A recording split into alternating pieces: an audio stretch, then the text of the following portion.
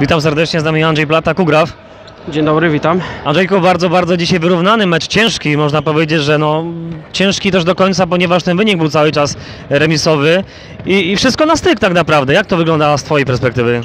E, No, powiem szczerze, bardzo ciężko gra się z drużyną, która cały czas się tylko broni na swojej połowie, praktycznie liczy tylko na, nie wiem, jedną, dwie kontry w czasie meczu.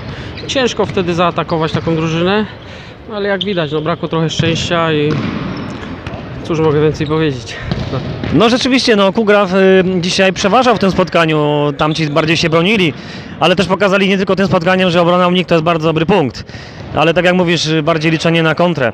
Wymieliście tą kontrę ostatnią, meczową piłkę, 3 sekundy przed końcem, tam powinien być gol czy nie? Bramki powinny padać dużo wcześniej. Było kilka dobrych sytuacji. Bramkarz też im uratował mecz. E, dwa słupki, poprzeczki, sam na sam. No po prostu mieli dużo szczęścia, a my w kilku pierwszych meczach to szczęście chyba wykorzystaliśmy, dlatego musimy strzelać to co jest. No jeszcze liga się nie skończyła, jeszcze trzy, trzy kolejki do końca. Myślę, że powalczymy. Utrzymamy może to pierwsze miejsce, jak się dobrze poskłada. Zapowiada się bardzo emocjonująco, ponieważ wy teraz y, tracicie trochę dystansu do Gold Teamu, aczkolwiek oni teraz pauzują z racji przełożenia meczu, więc niekoniecznie oni muszą wygrać. Ale powiedzmy, że gdyby, gdyby wygrali, no to możecie spaść z pozycji lidera. Zaskoczenie?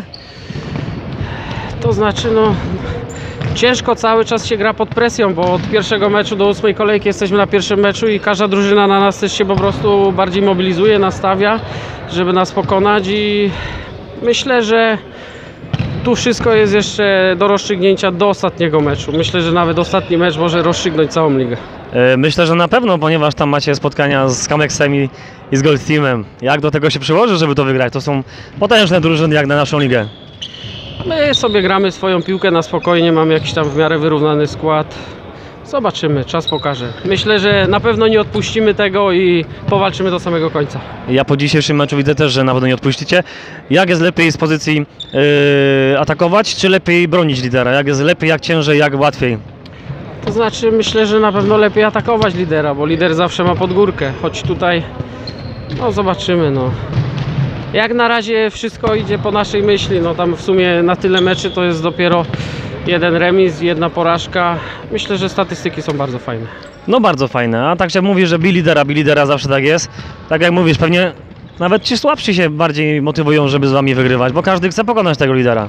No powiem szczerze, że liga jest tak wyrównana, że tu nie ma, nie ma łatwych meczy. Praktycznie wszystkie drużyny mogą, każdy z każdym może wygrać, także tutaj e, praktycznie ciężko mówić też, że ktoś jest faworytem takim konkretnym. No, wszystkie drużyny są mocne. Kamex, Gold Team, e, zresztą e, Palestyna. No, są naprawdę dobre drużyny.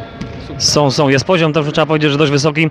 Andrzejku, no to co? No, życzę przede wszystkim zdrowia, przystąpienia do tych spotkań w zdrowych i dobrych nastrojach, no i przede wszystkim, żeby ten wynik dla Was był jak najlepszy. Dzięki śliczne, powodzenia. Dzięki.